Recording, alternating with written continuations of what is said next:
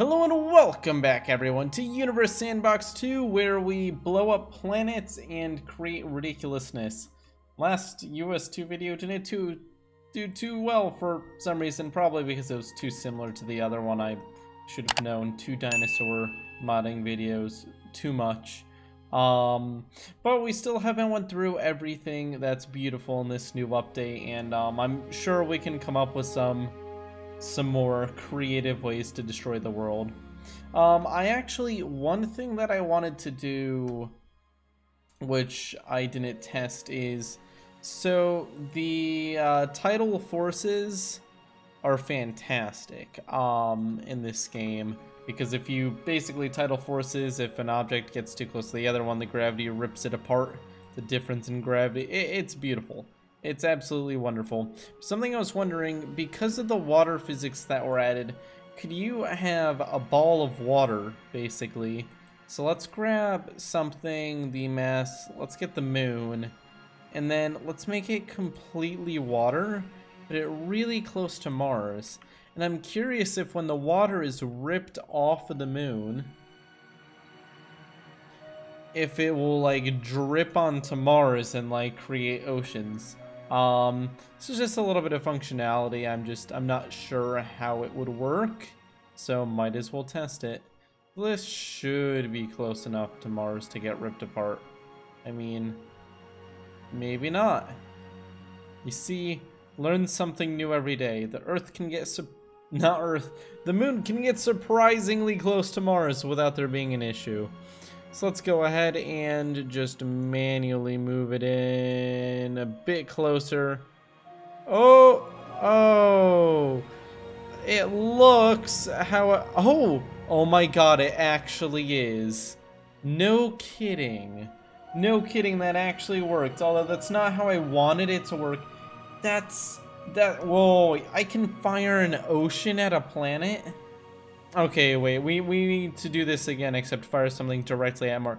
There's, this is actually kind of insane. Okay, let's do Ceres still. Let's throw it at Mars, but turn it completely into water. So you can literally chuck an ocean at a planet now and watch it plop across the surface. I, I, am not sure if plop is the correct terminology here, but this this is a dropping an ocean on Mars. I didn't think this would actually be a possibility. Okay, let's see what happens. So it's ice. Uh, let's go ahead and warm it up because we don't want it to be ice. We want it to be liquid when it hits. Uh, so let's set it like 80 degrees. Hot enough to... Oh. Oh, too high.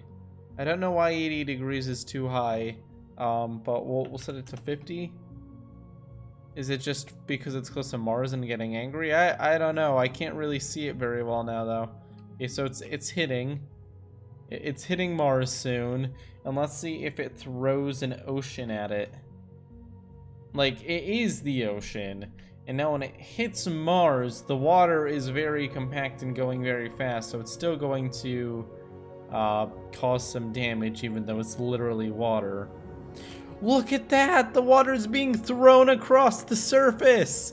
What the heck? this is so beautiful! Oh, wow. Is it gonna, like, spread out and fill in... Oh my god. This update, there's so many... There's so many beautiful little things to be noticed. Okay, is it gonna, like, spread out? Or is it just gonna stay in those squares? Important questions. Oddly, it seems like it's just staying in those streaks. Huh.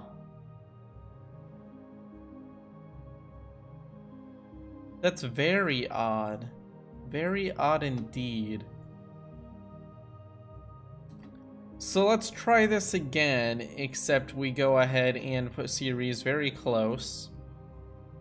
And let the tidal forces kick in on it. Um, same question as before, but this time Ceres should... There we go. It should be easier to rip apart. Still too hot, huh? Really? Oh, I did 80 again. Why did I do 80? If it didn't work the first time, why would it work? 50 degrees is still... Or is that... Uh, I can't tell if it's the heat or if it's... Nope, it's just being ripped apart. So this is creating a cloud of water vapor around Mars because the tidal forces are ripping it apart. The question is, if these uh, clouds hit Mars, is it going to fill Mars with water? Like, there's so many questions to be had right now. There is actually a ring of water around Mars now. Which is kind of lit, but at the same time, that's not that's not the point. It does look really cool, though. We've got an ocean around Mars. Now, if we move Mars a tiny bit to the side, let's just grab Mars and just shimmy it over a little bit. Will the water start, like, forming on the surface? It's like space weather, space clouds. Let's soak them all up. All of that yummy H2O. Let's go hydro homies. Okay, how's how's it looking?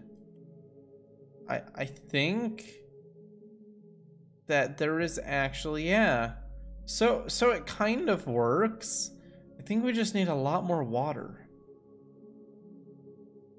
It seems like that when we did it with the moon, it was much more effective. Maybe a lot of the water is destroyed or lost in the process, or maybe in order to reach a certain size, once it reaches a certain size, the chunks act different. Oh, I didn't mean to do that. The music intensified very quickly.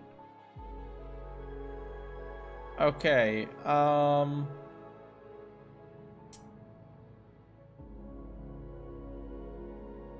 Let's try this again. Moon, pretty close to Mars, not a huge issue. Moon, we turn into water and set to a comfy 20 degrees. Okay. Something should happen. They're so close together. Ah. Ah. So close. Okay, so let's let's now that we know what we're doing, we're going to try this again, but slowly and incrementally changing this. So we don't want the moon to hit Mars, we wanted to simply sprinkle water upon it. I want it to basically be a rainstorm, but with its own guts. There we go. Oh, wow. That did a lot of ripping apart very quickly. The moon is actually regaining that mass from the ring. Okay, so looking at Mars, we, we do have effects on the surface. Maybe that's not water, though. Maybe it's just like a strange... Uh, marks? Like, is it just getting... No, look, you can see... You can see water and ice forming on the surface of Mars now. Like, you can definitely see this happening. And the moon... The moon is still one... Oh!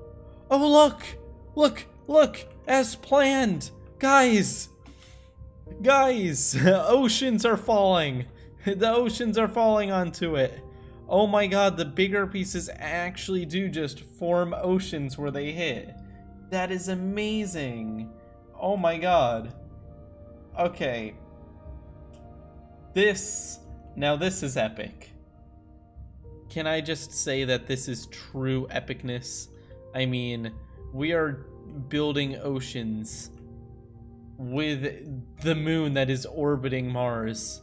I don't know if this has any practical use, but pretty cool. And it looks like they've actually balanced out.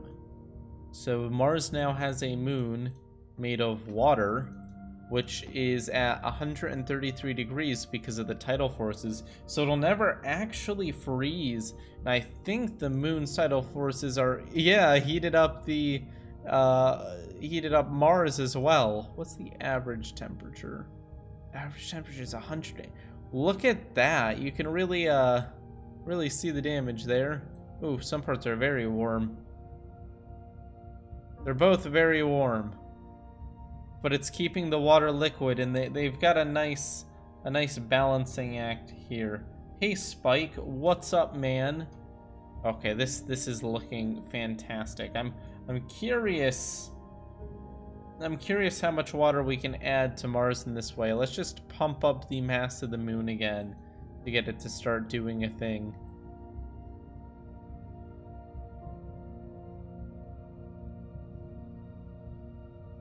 Which planet would you rather live on?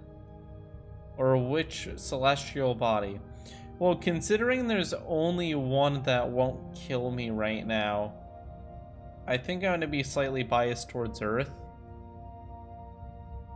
However, if there was ever a chance to, like, be a part of the colonization of Mars, totally be a part of that. I mean, once in a lifetime experience.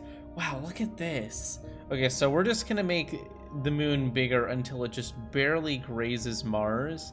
And then, oh, I wanted to catch that, but I didn't. Actually, when it absorbs Mars, is the land just gonna pop out now that it has a core of like rock?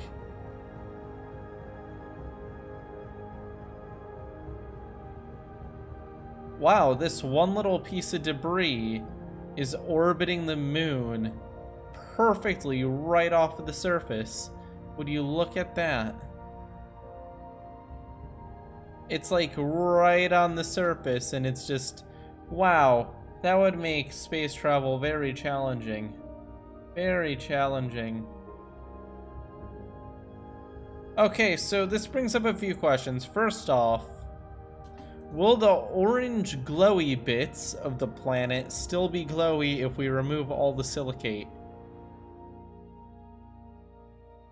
I'm going to test that in a bit because I don't want to... Wow, Look at its perfect orbit. That that's so odd. I I really like it. Good good job, little fragment. You managed. You managed to survive, although you're disappearing now, so that's kind of depressing. Okay, so let's go ahead and decrease the amount of water until we can see if it looks at all like Mars, or is it just like the moon again? Oh, it turned back into the moon. Oh, that's exciting. Look at the happy moon. But the question is, if we get rid of all the silicate... Hmm, there's an issue here. Water doesn't turn orange. Water doesn't turn orange. Very, very disappointing. There's also, like, strange ridges. Although, I guess there could be ice that would explain the ridges, like, the further down you go into the planet. Although ice floats, so that doesn't really work. And we can see the ice up here as well. Hmm. There are different types of water though. And there's different like stages it gets into or is that ice? Well, ice has a lot of stages. I know that. There's like ice I think I've heard up to like ice 7 before, maybe ice 6. Uh, I don't I don't know the difference between them. It's just under different pressures and stuff ice gets wacky. Very wacky. I am a boomer. Uh zoomer. I'm I'm a zoomer boomer. Bing a bomb a boom. Okay, so I guess to end this out, we're gonna put water moon. Hey, hey, don't run away from me when I'm talking to you. I gave creation to you, not really birth, because planets aren't born. Okay, let's put our water moon creation up against Earth.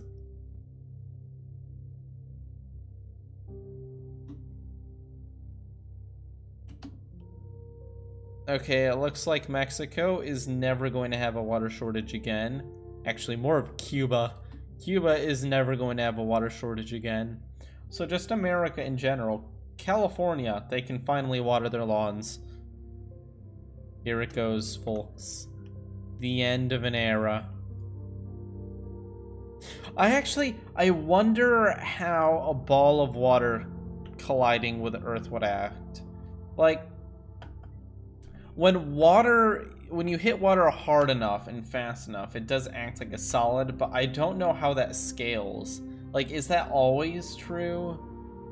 Because the water molecules need time to move out of the way of each other, but like, I have no clue what would happen. Well, look, the Earth gets hit and like destroys all the land, but now the amount of water is now causing the oceans to rise, which is another huge issue. Earth can't decide whether the oceans should get bigger or smaller because on the one hand, it's over a thousand degrees Celsius.